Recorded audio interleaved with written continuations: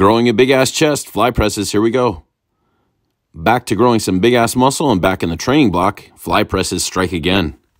But here's the setup find a flat bench or an incline bench, roll back, press that weight up, get in the fly position, do a nice slow negative fly on the way down, rotate those dumbbells and pull them in slightly to press them up. You'll notice that once you get in the rhythm, you'll have this circular motion. You'll be able to keep that time under tension to the maximum. You'll end up bulletproofing your joints and you'll continue to grow.